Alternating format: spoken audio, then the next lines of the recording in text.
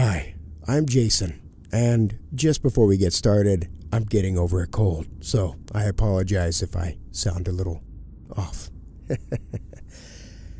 I just wanted to take a moment to recognize some of the newest members of our Patreon family. I always love interacting and talking with our patrons. It is an amazing thing to have your support. Really, it is a pinch me moment every time I get to read this list. It is such a reward to know that so many of you believe in us and what we are doing. I love every one of our patrons, but this week I decided to highlight those newest members of our patron family for this episode. Again, I can't thank you enough for your support, and I do hope you enjoyed your early release and bonus episode this past week, yeah? You can have that too. Pop on over. If you are interested in those perks and in supporting this show financially, please visit our Patreon at patreon.com forward slash the Grey Rooms today. We would be forever grateful.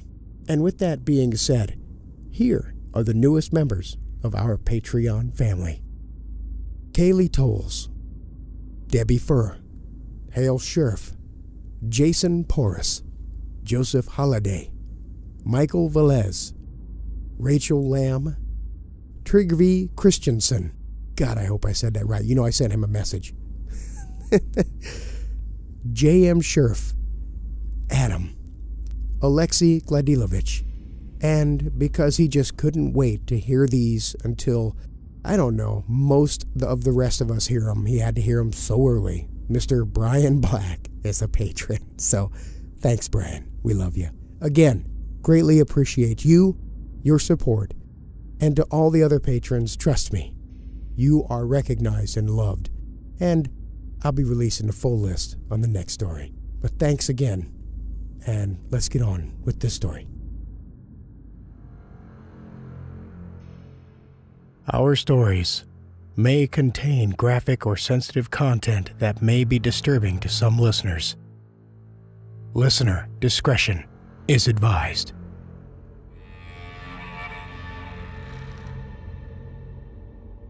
You wake on a hard, cold floor.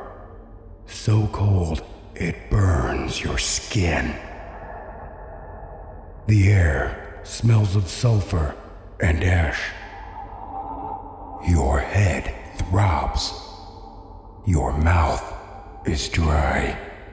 You have no idea how you got here. Panic sets in. Fear becomes terror. What have you done? What brought you to this place? It doesn't matter because now you belong to the Grey Rooms.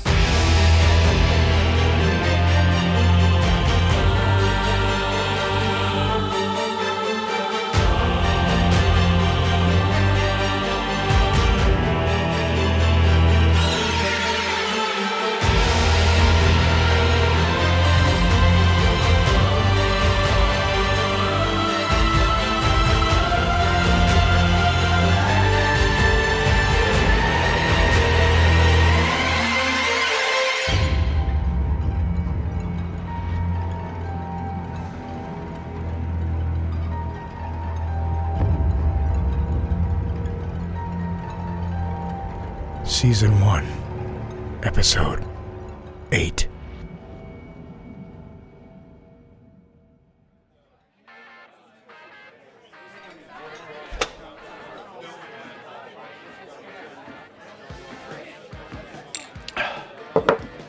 Hey, Frank.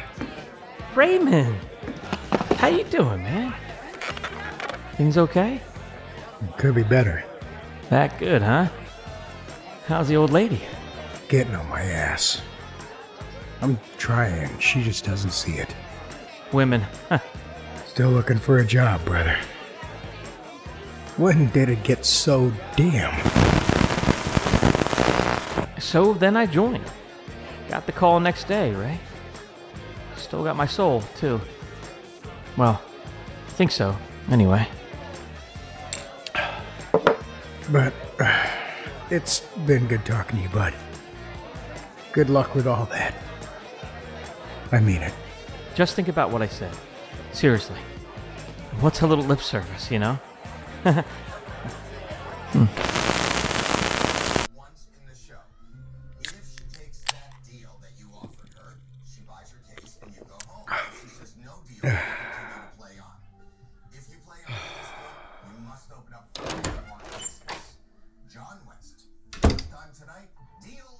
Hey, Ray? Honey? Honey, I need to talk to you. Yeah, yeah, I know. Look, we've already talked about it, babe. I'm looking. I just. Look, I, I'm trying here. It's just those idiots aren't hiring unless you. It's not about the job, Raymond. Huh? What's wrong now? Nothing is wrong. Look, I know you've been going through a lot. I get it. But we have something really serious to discuss here. Is this the part where you think I'm drinking too much? Because I'm working on that too. Remember how we didn't think we'd be able to have a baby? God damn it! I. You need, need to get a napkin. Where are the paper towels? Ah, shit, now it's on the carpet. I'll take care of this. Sorry, I'll. Leave it, Raymond! Did you hear my question? You're pregnant? I'm going to pretend you didn't just ruin the moment. Raymond, I'm pregnant.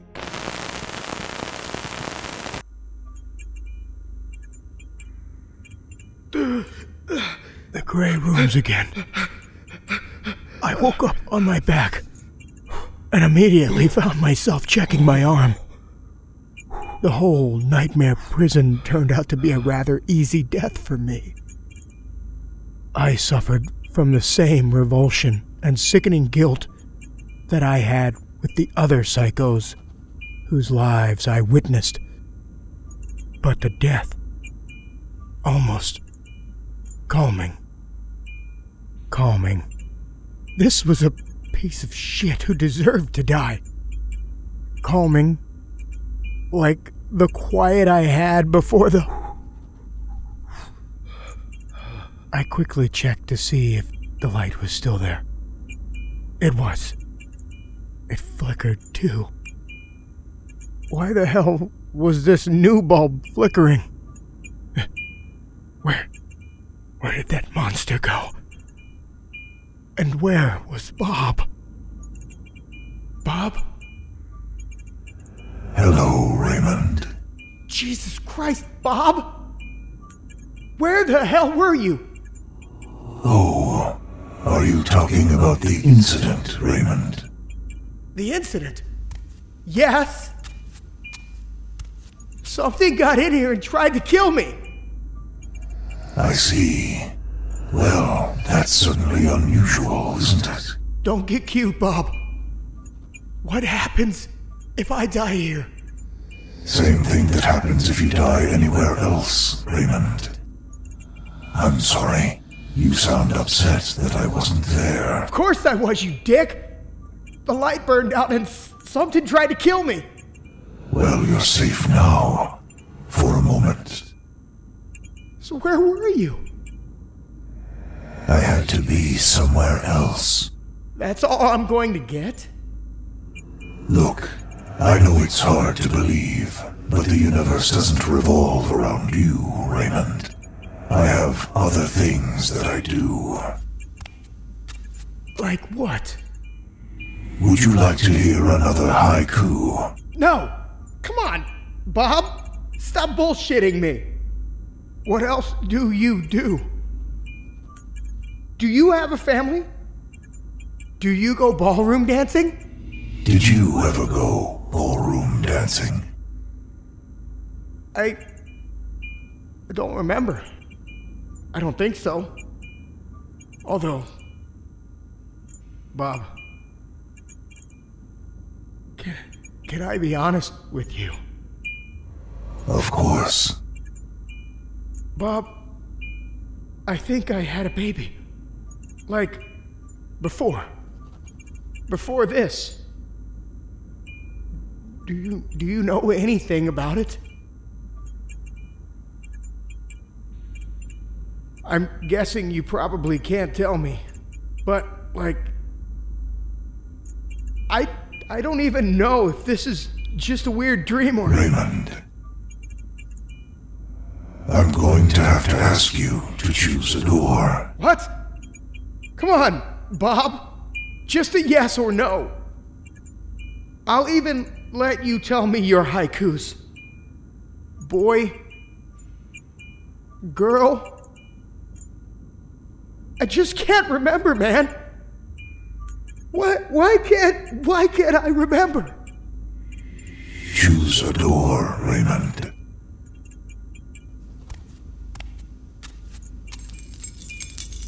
I didn't understand why Bob wouldn't tell me anything about the memories I was having. What did it matter to him? He was always the one trying to play the friend card to get me to be complacent. Was it so hard to just throw me a bone once in a while? The first door looked as if it belonged in some Victorian courtyard. It was made of iron and covered in ivy.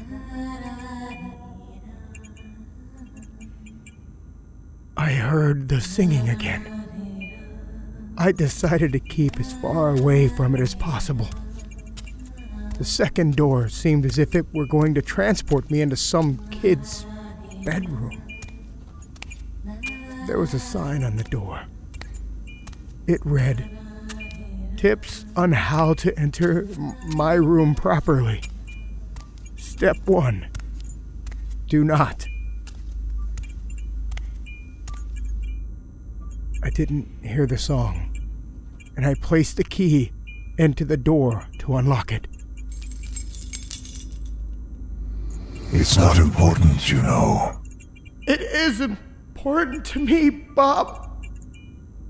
I don't remember it. The past will only hold you back, Raymond. Shut up, Bob. I know Lucy and I had a baby. I know it. And you better believe when I get back, we're going to have some words.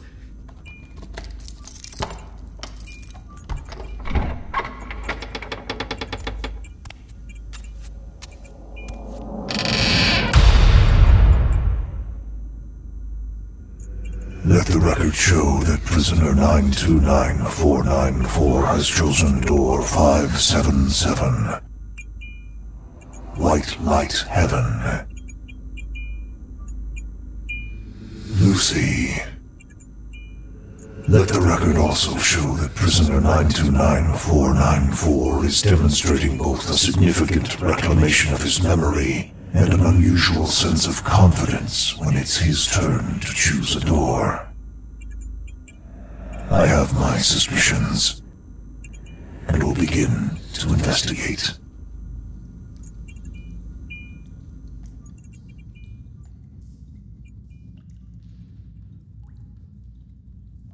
It's so bright. I can't open my eyes. I can't see. No, not bright. Empty. I'm lost. You're here. Where's here? Everywhere and nowhere. Sometimes here and sometimes there. I can't see. Hold my hand. Guide me. There's nothing to guide. I'm scared. There's nothing to be scared of. You're alone. Heaven. This is heaven, I know it. No, this isn't heaven. There's no heaven here. I'm so cold. Where are you? Reaching out? It's lonely here. I want to go home. So do I. Can we? There's no home here. There's nothing in a place like this. Only loneliness and sorrow. I don't like this. It's cold and dark. But the warmth of light surrounds you. Can you not feel it warm your soul? It's there. Everywhere. No. Not really. It's dark here. Everywhere. Choking and black. Darkness. Consuming you? Consuming me. Do you think we're. Yes. You mean. Yes. What happened? I reached out. I can't see you. Please come, please help. I, I try to walk, but I have no legs. Neither fingers nor mouth. I can't feel anything anymore. I can't scream. You're nothing. I am something. I am me. But you don't remember. I do. I do. What are you? Weary. I can't keep my eyes open. You forget. No, You've forgotten. I'm not dead. I'm not. Go away. Go away and leave me alone. Do you remember being alive? No. But I don't think. Does that matter? Did you ever live? I don't think so. I, I don't know. I don't know. What are you? Who are you? What is anyone? I don't know anymore. I want to wake up. I want to open my eyes. Open your eyes. I can't. Truth surrounds you. What is it? See for yourself. Is truth good? It's bleak. Why? The truth is very harsh. That's why you hide. Will I find happiness in truth? You'll find life. Open your eyes. What if I don't? What if I can't? Open them. A Costanza can do anything.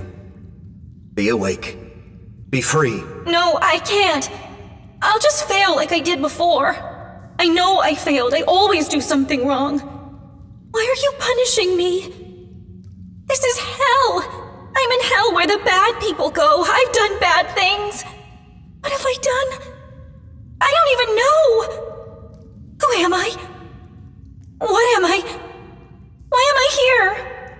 There is no punishment in this place. This is no place. It's merely here within. I'm staying. I deserve to be here. You aren't here. Be free. Be awake. No, the lights, they're bright and hideous. I'll hide. I'll hide from you.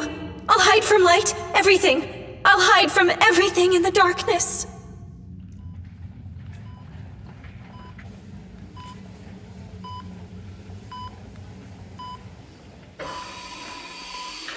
Mrs. Costanza continued to hold her daughter's hand. My baby. She thought, How could he do this to my baby? it wasn't just her baby, she realized. She turned to her husband and felt her free hand slipping into his. Our baby. She whispered, Come back to us, please. Please, God, bring her back to us. but she was answered only with the wheezing sound of her daughter's respirator.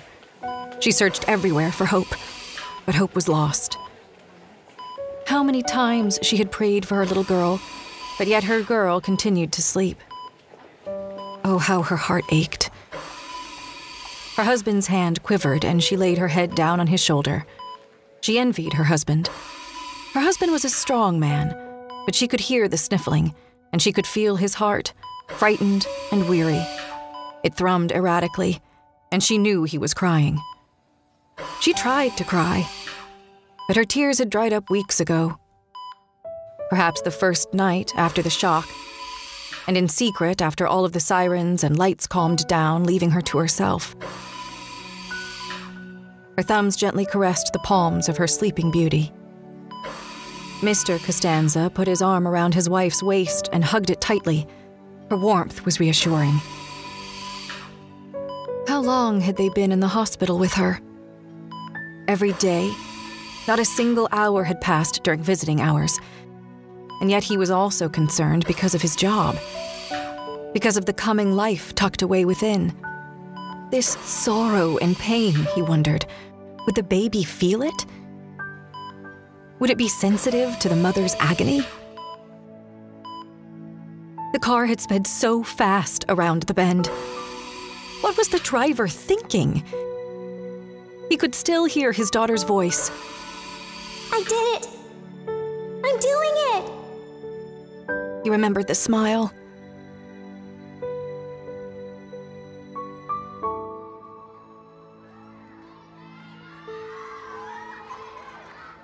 It was a typical day in July with sweltering heat. Roaring lawn mowers and a bright, cheerful sun to blast out every cloud from the sky. He watched his girl pedaling down the street, and stuck his hands in his pockets, quite content with himself. One more lesson in life to check off, he thought.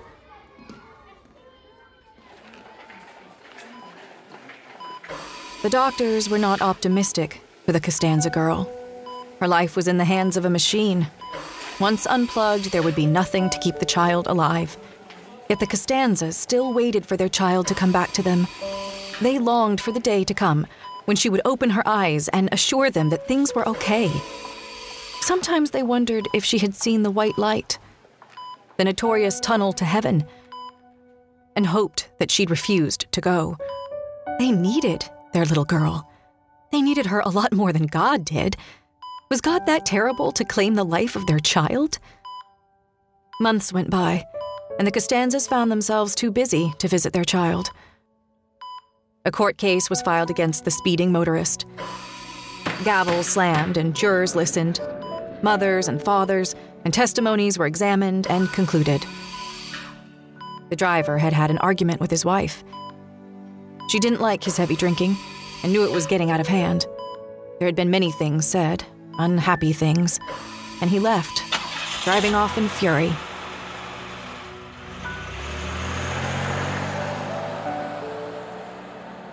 He was so angry that when he flew around the curve of a narrow street, he didn't realize there was a child taking her time pedaling up the hill. The child was saying something. Then he hit her. And all he remembered was seeing red. Lots of it. Shrill screams. Manslaughter. 15 years imprisonment. Divorce papers eventual.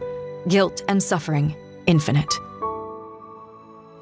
With the trial, the Costanza family had forgotten their lonely child, who looked more and more like an abandoned doll gathering dust on an empty shelf. Trapped within a crystal white room with diagrams of spinal cords and road maps to arteries, the girl lay without chattering. She was without laughs and without smiles. She was deprived of sickness, even sorrow. Her company was the sound of a respirator. Inflation, deflation, up and down. Breathe in, breathe out. Once the court case was finished and the bills, lawyers, loans, and mortgages had been paid from the court case, the Costanzas faced another problem in the form of a baby girl.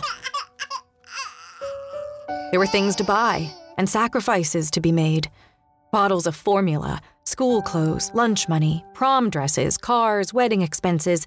Things would never let up. Their second daughter was a busy girl and insisted on having all the attention. She lived it, thrived upon it. She took it all for granted. Soon, Mr. and Mrs. Costanza were very old. Their new daughter was happily married and had children of her own. She abandoned her parents and insisted on living a life all her own.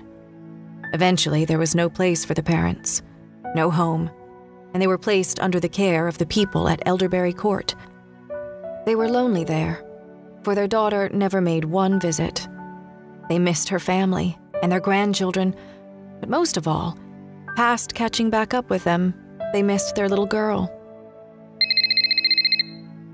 Hello? Their phone calls oftentimes reminded the new daughter of her sister and constantly irritated her. Jealousy grew within her heart. Was it not her sister who was merely a vegetable, sucking up her parents' funds while they sat about playing bingo and watching The Price is Right? Why were they talking about her sister who couldn't praise them and couldn't buy them things and couldn't tell them that she loved them? What did she mean to them? She was just a dummy. One big, expensive dummy, granted a tragedy, but one that should have been buried long ago. But her parents, filled with guilt, made the daughter commit to keeping her sister on the machine, and she felt compelled to do so. She hated it. She didn't want to be bothered, and with three kids, she certainly couldn't afford it. Did her parents think that she was going to tell her children they couldn't go to college because she had to pay for their vegetable of an aunt? She lied. She persuaded them that she cared. At least they wouldn't have to feel guilty anymore. They were dying. The thought had been on the tip of her tongue for quite some time, but she couldn't accept it. She wondered if they called her to relieve themselves of the guilty conscience that had been plaguing them for so long. It's what she wanted to wonder. She needed a family, and not just her own, not anymore. Despite how much she loathed talking to them about her, and it always was her that they spoke of, she needed to hear their voices. She missed them, and they missed her. She'd always force a smile upon her face and hold back the tears and the feelings of resentment. She'd be brave for them until they left her. Then she'd be done with her sister. And she'd be able to tell herself that what she did was right, and she'd believe it. Once they were gone, and it wouldn't be much longer.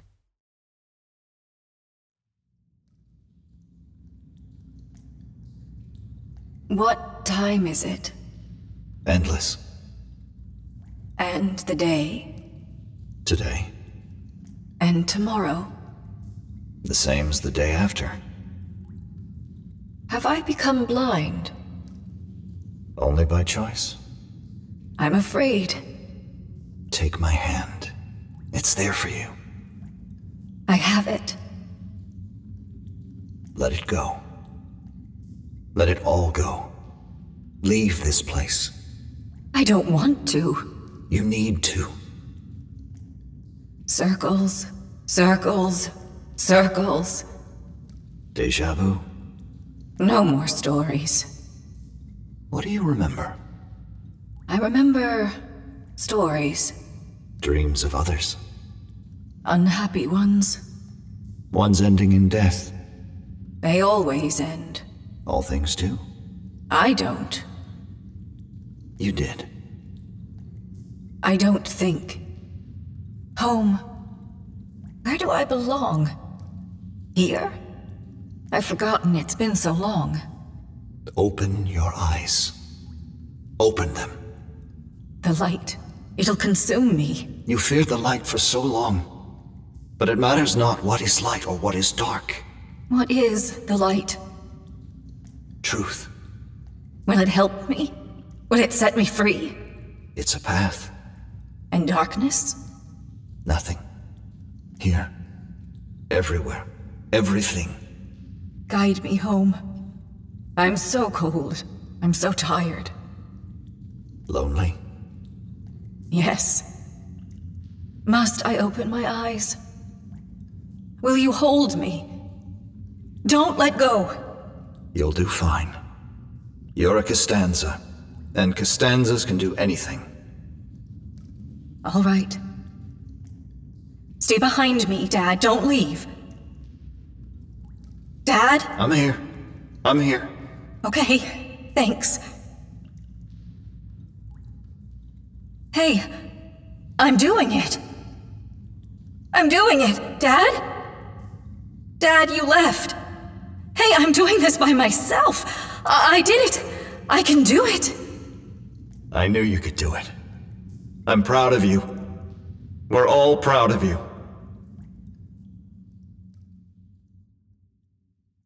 The woman's eyes opened.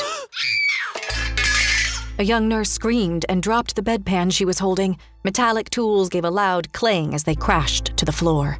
What? What happened? The doctor yelled. Her eyes! The doctor bent down to look at the woman, skin flushed and face sullen.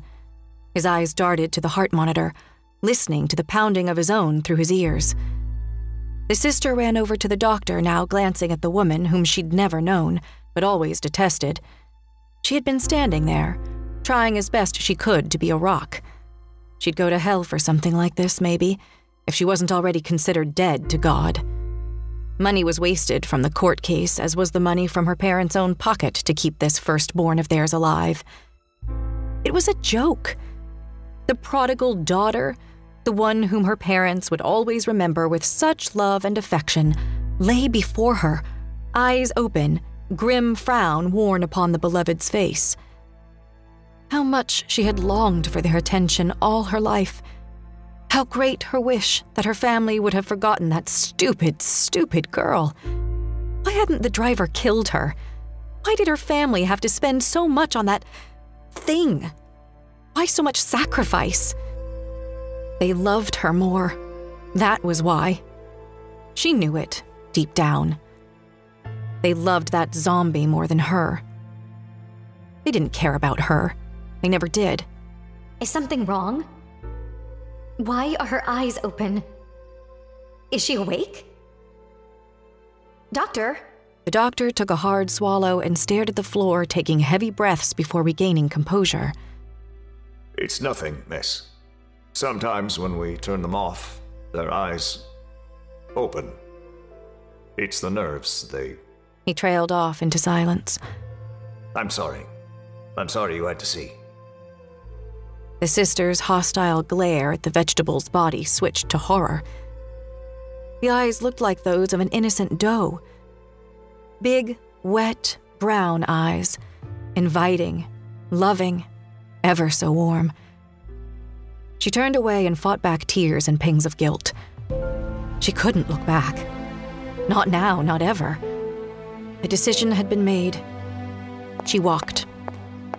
The nurse stood there, cupping her mouth. Was there something else? Had her sister been waking up out of the coma? Her pace quickened to a mad dash, her arms outstretched for the door. Miss! The doctor cried. Miss, your sister! What do you want done with them? She ran out the door, into her car, and drove down the street.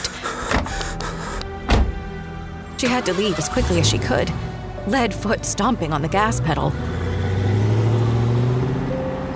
Tears ran down her eyes and streaked mascara sloppily down her face. Her nerves shook and screamed, and her conscience goaded her with repulsion.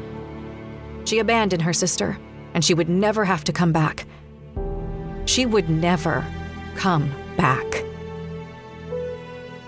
Ever.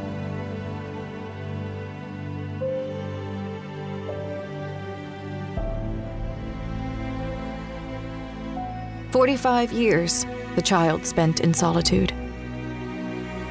Forty-five years. And now, she was no longer afraid.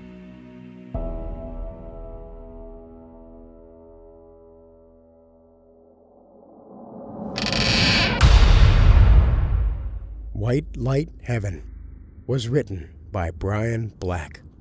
You can follow Brian on Twitter at Darth Chair. White Light Heaven was performed by Amanda Leigh Cobb. You can find out more about Amanda on her website, amandaleecobb.com. I have to say, it was a pleasure working with Amanda, and I do hope you enjoy listening to her just as much as we enjoyed working with her. Thank you, Amanda. White Light Heaven was also performed by Graham Rowat. You can follow Graham on Twitter at GrahamNY.